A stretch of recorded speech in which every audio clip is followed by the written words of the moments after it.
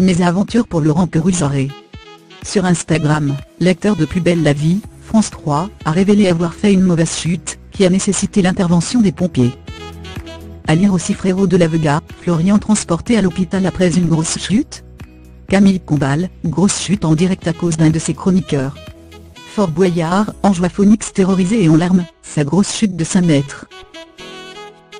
Désolé. J'ai craqué. Après j'arrête. Promis chute escalier en vrac malodo cassé merveilleux pompier pompier héros, cascade rien de grave tout va bien repos resta positif peste grave à pire, a-t-il légendé une vidéo dans laquelle il explique plus en détail ce qu'il s'est passé? J'ai chuté dans l'escalier et je me suis pris le câble internet, qui est juste en haut de l'escalier. Bravo Laurent. Et pour éviter Ginette son chien, nos de la rédaction qui était juste en bas, j'ai fait un vol plané mais je ne vous dis pas le vol plané, a confié l'interprète de Thomas Marcy, à ses abonnés. Plus de peur que de malheureusement, malgré l'intervention des pompiers, il devrait vite reprendre le chemin des tournages, afin de mettre en boîte de nouveaux épisodes de Plus belle la vie. En attendant, Laurent Carusoré n'a pas manqué d'adresser ses félicitations à Laetitia Milo, Mélanie dans la série, qui vient d'accueillir une petite fille.